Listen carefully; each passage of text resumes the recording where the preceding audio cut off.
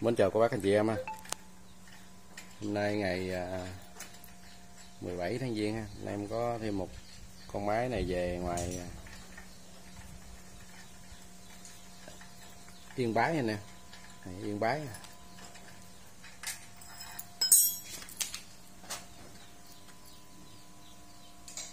Ở ngoài đó thì anh em à, làm, làm cầu phải làm dài vậy đó nè. Cung phải làm dài vậy đó. Này dàn cầu kẽm ba t 66 này, chuẩn bị ờ, gửi về yên bái nè.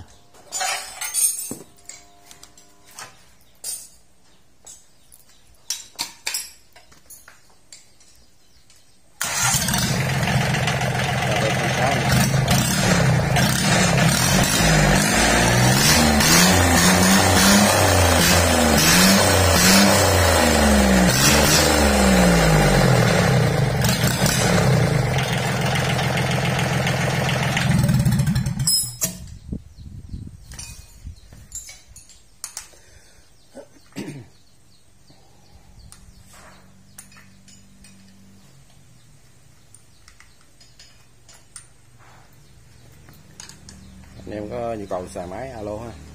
Mình cũng về được mấy con máy cỏ nè người ta đây 66 về cũng bái.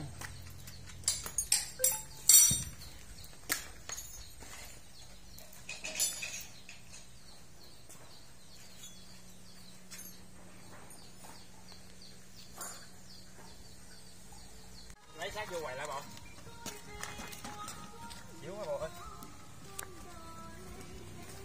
Lấy xác đây tao lấy lại.